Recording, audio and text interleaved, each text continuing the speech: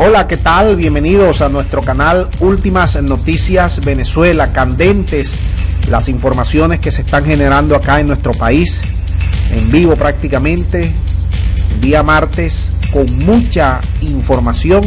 Y yo te digo algo, a todas las personas que se están sumando día tras día a nuestro canal.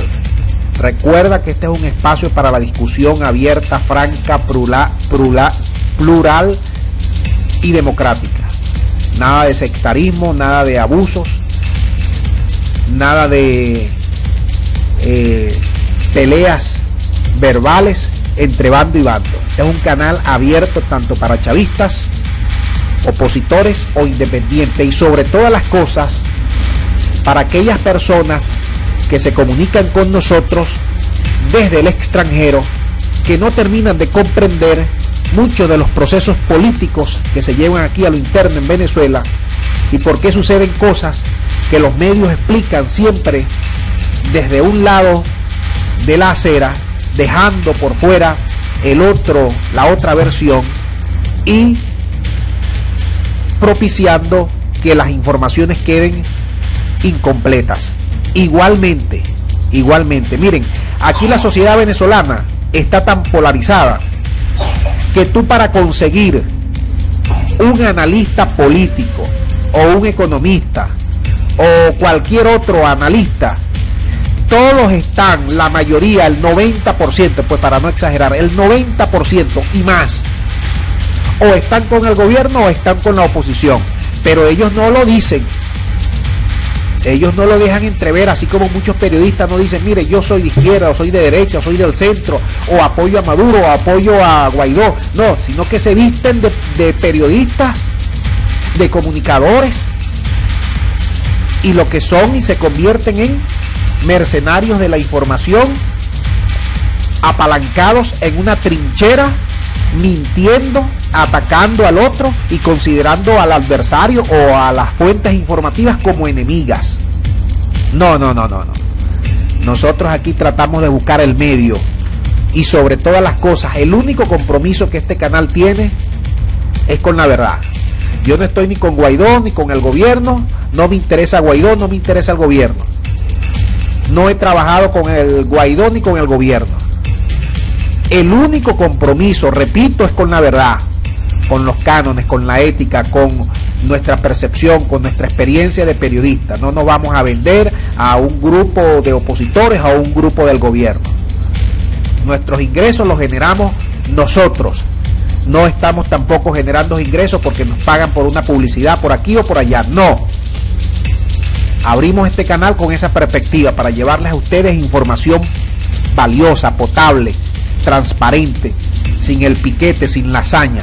Dicho esto, te voy a explicar que hoy sucedió una noticia bien interesante y ustedes saben que el, a Maduro le dio el golpe el jefe de los servicios secretos, nada más y nada menos, Christopher Figuera. Ahora, Christopher anda escapado. Se dice que en Dominicana, otros dicen que en, en Puerto Rico, otros dicen que ya está en Estados Unidos. Pero Estados Unidos ya le dijo, epa, Christopher, Gracias por tu servicio, chicos. Tenemos aquí contigo una deuda y la vamos a pagar. Esa deuda la vamos a comenzar a pagar porque te vamos a deshabilitar o habilitar, mejor dicho, o a desbloquear todo lo que son tus cuentas bancarias o todo lo que son tus compromisos financieros con Estados Unidos que te teníamos allí bloqueados. Eres un hombre libre. Eres un hombre que puedes con tu familia y con todo tu entorno disfrutar de los servicios financieros internacionales de Estados Unidos. Ahora bien, Mike Pence dijo que a todos los militares que le lanzaran una puñalada como lo hizo Christopher a Maduro, van a recibir su incentivo. Él no habló de plata, pero dijo incentivo. Y voy más allá. Christopher ha venido hablando y ha venido diciendo, mira, Maduro, yo te reconozco a ti como jefe. Yo no reconozco a Guaidó. Y yo te quise salvar. Pero ¿qué pasó? que el plan estaba tan adelantado y estaba participando. ¿Tú sabes qué estaba, quién estaba participando? Estaba participando Padrino, que es mi general de, eh, de es el ministro de la Defensa, el presidente del, del Tribunal Supremo y el jefe, el director del DIGESIN o contraespionaje en Venezuela. Entonces yo me enteré de esta cosa y no pude pues evitarlo. Cuando yo vi que yo estaba afuera, estos hombres se echaron para atrás. Porque la idea de nosotros, dice Christopher en sus, en sus cartas que ha venido enviando a distintos medios. Cuando yo me enteré de todo esto, bueno, este, tuve que soltar a Leopoldo y vi que mis compañeros no le echaron pichón, no salieron, vi que la gente tampoco salió y yo me fui. Ahora Guaidó lo dice en sus entrevistas, lo dice, mira, Prácticamente Guaidó dice, nos traicionaron los militares, que teníamos todo acordado. Leopoldo también lo dijo. Lo dijo, esos militares no salieron. Teníamos todo acordado, todo pactado. Teníamos reuniones secretas, tuvimos tres semanas en reuniones secretas. Luego Estados Unidos sale y dice lo mismo que Leopoldo. Que los militares se echaron para atrás y que apagaron los teléfonos. Luego sale Maduro y dice que es mentira. Luego sale Diosdado y dice que es una afrenta que eso genera más rechazo y más repudio. Luego sale Padrino y dice, no, ustedes están locos.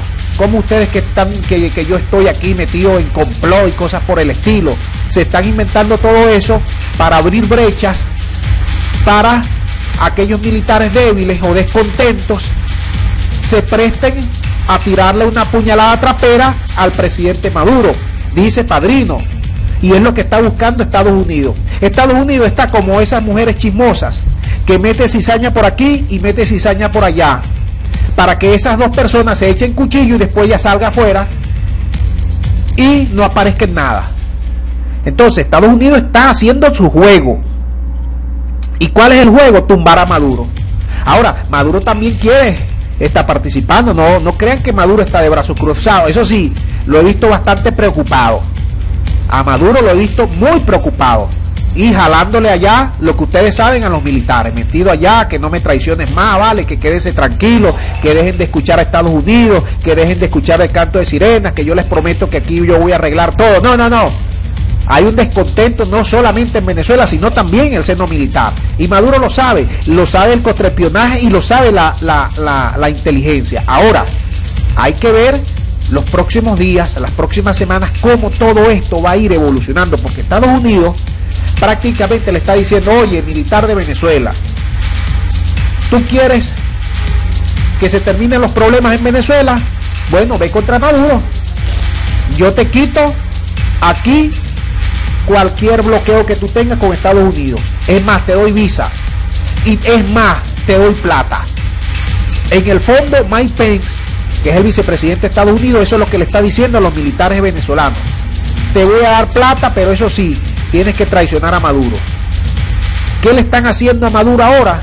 Bueno, lo están poniendo cabezón para que él desconfíe hasta, eh, eh, eh, de su sombra. Y miren, fíjense que es una operación bien, bien estructurada de parte de Estados Unidos que el periodista peruano Jaime Bailey en su programa lo dijo. Ustedes saben que aquí un helicóptero se precipitó y hubo siete, siete muertos. Un helicóptero Cougar de la Fuerza Armada Nacional Bolivariana, uno de los más importantes. Se precipitó aquí a unos, a unos kilómetros de Caracas, en el Atillo. Y murieron sus siete tripulantes. Y Jaime Bailey dijo, bueno, en ese helicóptero iba unos minutos antes se iba a montar Maduro, es decir, que Maduro ya estuviese muerto. Pero que él no sabe por qué, cuestiones, se montó en otro helicóptero. Ahora, si eso ha pasado, si eso es verdad lo que dice Bailey y no es un humo o no es parte de las operaciones psicológicas que Estados Unidos comenzó, ha comenzado a lanzar con los, contra los militares para que le den el, el golpe final a Maduro, entonces Maduro está en problemas. Porque si su jefe de inteligencia estaba complotado, ahora, esa es una teoría, pero yo también tengo otras teorías allí que yo les pedí en otros videos vamos a aguantarnos un tiempito para conseguir más información. Porque yo tengo la impresión que este señor Christopher puede ser un doble agente. Me da, no sé, la impresión.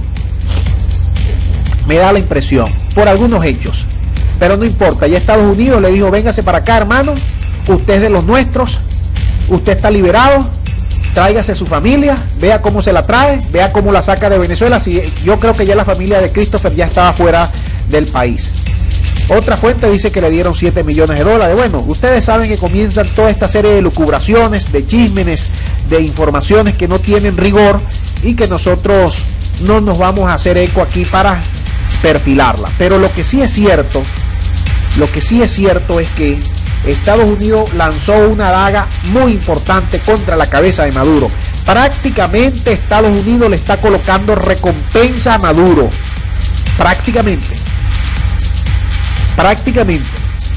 Con esto que le está diciendo, mira, va a haber plata, va a haber visa, vas a poder vivir aquí bien, te voy a quitar cualquier bloqueo que tengas y vente al paraíso. Y Maduro, bueno, él verá qué es lo que va a hacer, o corre o se encarama. Ahora, Maduro también jugó sus cartas, allanó la inmunidad a siete parlamentarios y vienen más y en cualquier momento Guaidó puede caer al pote. Entonces aquí en las cuestiones en Venezuela no es fácil entenderlas aterrizando y viendo los medios de comunicación. Si te pones a ver los medios de comunicación, los grandes medios aquí en Venezuela y los extranjeros te van a pintar un panorama a favor de una de los bandos. Y siempre vas a creer ese bando está ganando. Tienes que ver las dos versiones. Aquí te contamos las dos versiones. Aquí yo te estoy diciendo hechos reales, objetivos que están en pleno desarrollo. Te estoy dando versiones de lo que dice el gobierno, de lo que dice la oposición y de lo que dice Estados Unidos. Tú luego atas los cabos con tu perfil, con tu intuición sacas conclusiones. Pero aquí hay muchas cosas que se han dicho, que está diciendo Estados Unidos y que está diciendo el gobierno, que yo no me las creo. Simplemente las proceso y veo. Y espero algunos días para ir armando el rompecabezas, porque aquí la operación psicológica contra en Venezuela de los medios de comunicación, de mis colegas, de Estados Unidos, del gobierno es de Padre y Señor nuestro. Aquí hay que, bueno, hay que tener bien cuadriculado todo para que no te engañen, porque te van a engañar, sea el gobierno o sea la oposición, te van a engañar. Déjame tus perspectivas. ¿Qué crees tú de esto, de la recompensa a la cabeza de Maduro? ¿Qué crees tú que Estados Unidos le está colocando incentivos militares? ¿Qué opinas tú de esos incentivos militares? Económicos. ¿Usted cree que Maduro está ahorita mismo no duerme? ¿Usted cree que está desconfiando de su propia sombra? ¿Usted cree que Maduro está asustado? ¿Usted cree que a Maduro le quedan pocos días? ¿O usted por el contrario piensa que son pura bola de humo como lo han venido diciendo la gente de Guaidó desde enero y nada que se concreta, nada? Que han fracasado, que están ahora, van por estos diputados Leopoldo está en una embajada asilado, estos diputados probablemente van para otras. Y en fin, déjame tus impresiones para seguir analizando el complejo tema Venezuela. Muchas gracias, hasta la próxima.